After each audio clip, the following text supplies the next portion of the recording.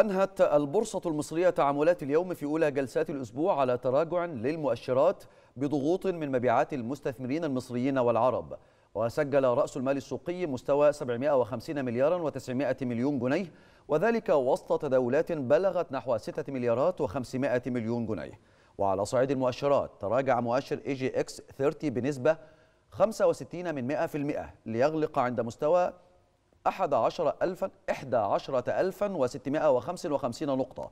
كما هبط مؤشر الشركات المتوسطة والصغيرة EGX 70 بنسبة 1.45% ليغلق عند مستوى 2176 نقطة. كما انخفض مؤشر EGX 100 بنسبة 1.57% ليغلق عند مستوى 3181 نقطة.